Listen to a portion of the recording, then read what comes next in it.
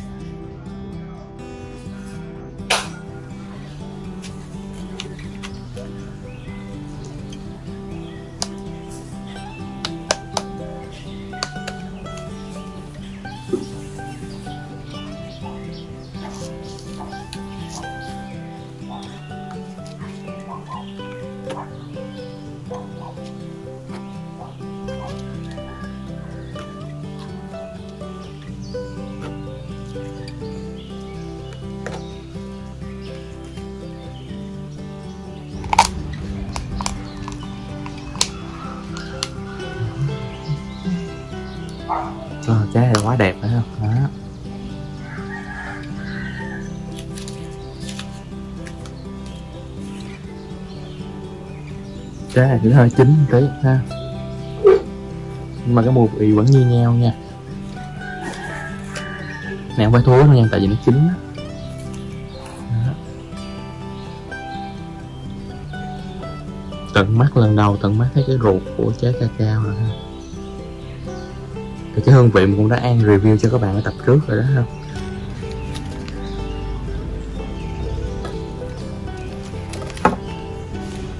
Hạt tươi thì bên trong nó sẽ màu tím.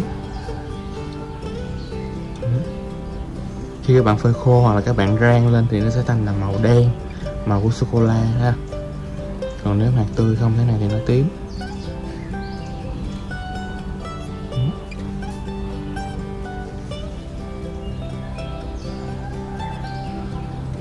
Đó, từ cắt hạt trắng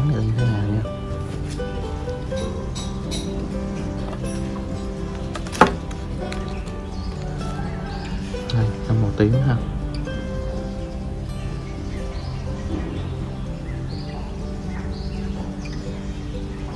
Rồi sau khi mình thưởng thức cacao xong rồi thì mình sẽ lấy cái phần hạt nha mọi người. Đây chính là phần hạt cacao nè. Đó, mình đã rửa sạch và mình tách cái phần thịt ra rồi đó. Nó vẫn còn dính nha. Bạn thấy cái phần thịt nó dính vào hạt ghê chưa? Đó, mình sẽ đem cái phần hạt này mình đem đi phơi cho nó khô, cho nó ráo lại ha.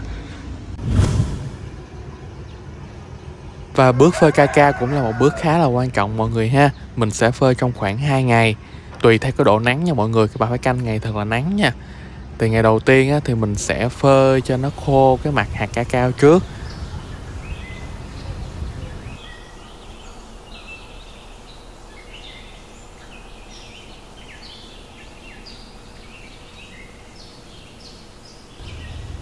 Xong rồi đến trưa á, các bạn sẽ ra các bạn đảo lại ha tại vì mặt dưới nó sẽ còn ướt á mình sẽ đảo là mình phơi tiếp.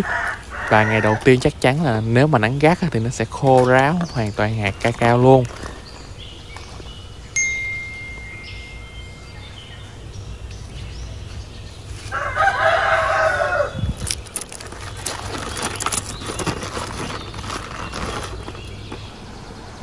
Và ngày thứ hai các bạn cũng sẽ tiếp tục phơi dưới nắng gắt luôn nha. Và các bạn sẽ để cho cái hạt cacao của mình nó khô ráo hoàn toàn luôn.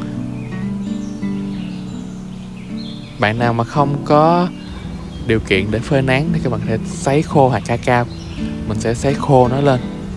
Mình thấy đây là cách mình làm phơi hạt ca cao đơn giản như thế này thôi, mình sẽ không có làm qua bước ủ móc nha mọi người. Thì một số cách đó trên mạng hướng dẫn sẽ là ủ móc khoảng 7 ngày cho hạt ca cao mình nó móc lên, rồi rửa sau đó mới rang. Còn ở đây thì mình sẽ phơi khô, mình lấy tách vỏ hạt ra luôn mọi người ha. Và các bạn sẽ xem bước tiếp theo mình sẽ làm như thế nào nha. Rồi thấy không? Orange nè. Rồi thấy không? Rồi bữa nay nắng nè Mình đã phơi xong hạt ca cao rồi mọi người. Khô queo luôn. Đó.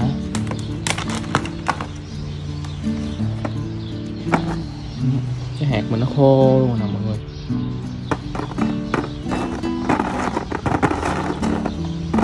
Bạn nghe được cái vỏ nó giòn giòn luôn rồi không? Đó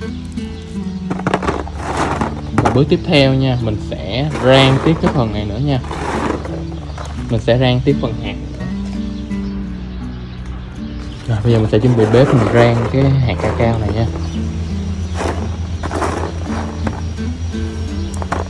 Cái hạt này bữa mình cắt đôi ra. Các bạn nhớ nó màu tím không? Bây giờ thành màu nâu sô cô la luôn rồi nè ha. Để mà mình rang thì mình dùng cái chảo cũ cũ thế này thôi các bạn ha. Để mà mình rang chảo mới, nó hư giờ mỗi lần mình rang bạn lưu ý mình phải canh lửa nha. Rang lửa vừa, lửa nhỏ thôi.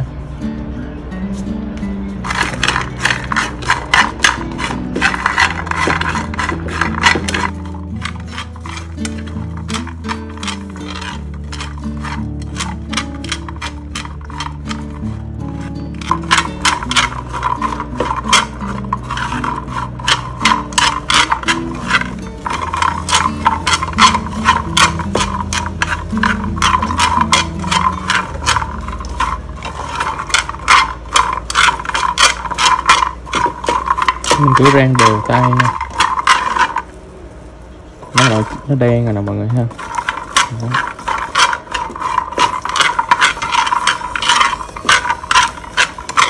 các bạn phải phơi nắng trước cho nó khô rồi mình mới rang.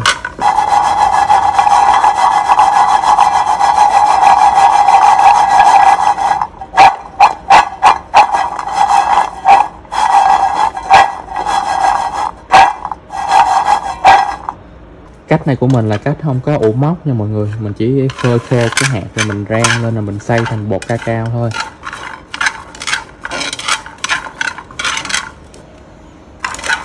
Đó. cái bước mà ủ móc là bước làm cho cái cacao nó thơm hơn mọi người nó lên men rồi nó có mùi, rồi nó như mùi rượu vậy ha còn này là bước đơn giản để mà trải nghiệm cái bột cacao thôi. Thấy cái hạt cacao đâu nó cháy đen nha người ta đó. mình sẽ rang khoảng 20 đến 30 phút là vừa.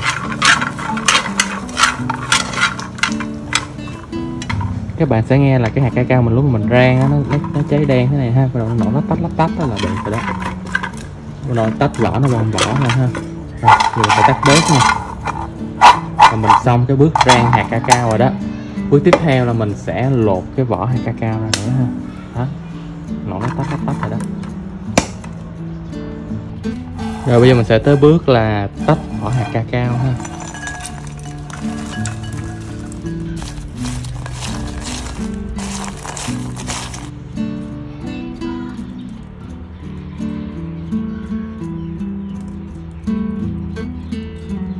Đó, mình sẽ dùng dao mũi nhọn.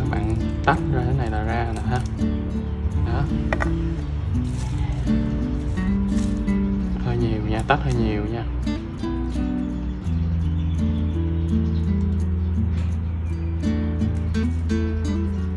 Thật ra nó rất mềm và xốp nha mọi người, chứ không phải là nó cứng.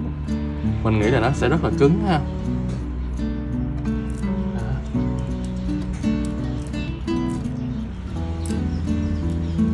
Đây là cacao nguyên chất nên là cái hạt này rất là đắng nha mọi người.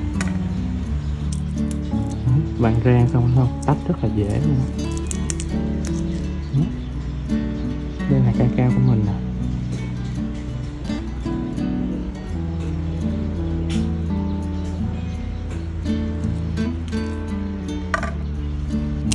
Nếu các bạn rang đúng độ là nó tự nó bong ra hết ha.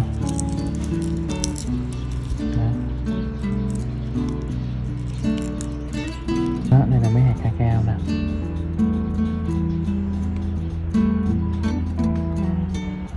Rồi, việc cứ như thế mình sẽ lột hết cái phần hạt ca cao bên đây ha. Let's go. Cả nhà ơi xong hộp mình lột mình được như thế này nè ha. Một số hộp thì nó bị bể, một số hộp thì nó nguyên. Đó các bạn thấy đây chính là hạt ca cao bên trong nè.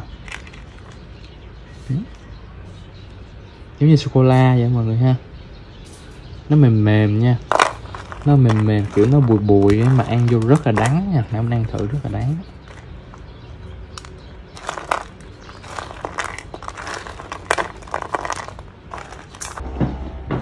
Rồi bây giờ bước tiếp theo mình sẽ dùng một cái máy xay để mình xay cái hạt cacao này ra nha. Đó.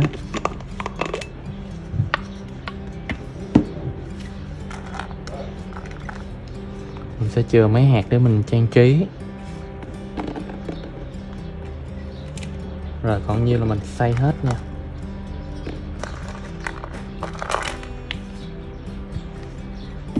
Cái mùi nó thơm thoang thoảng mùi sô cô la mọi người.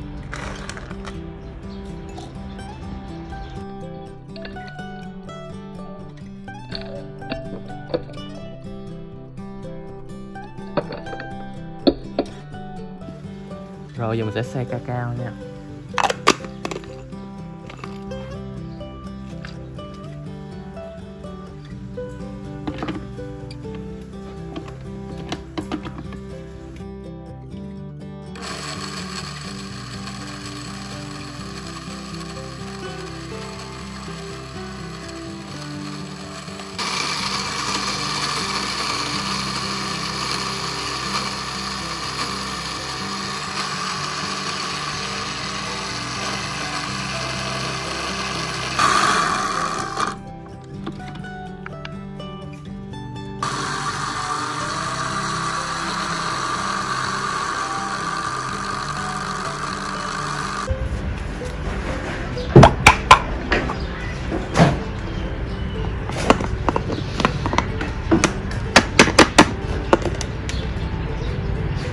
Là phần bột cacao nè.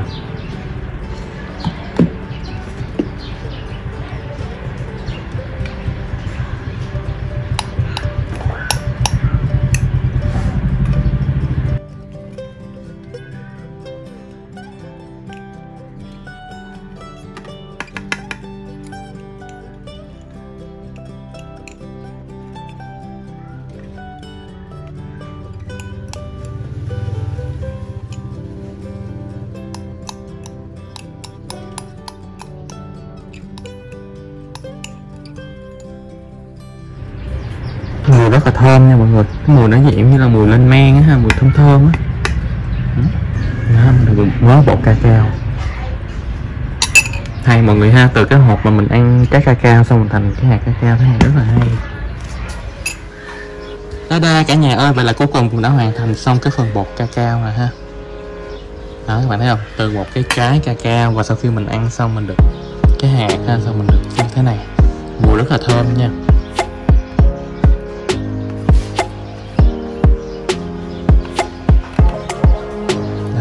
Đó chính là bột cacao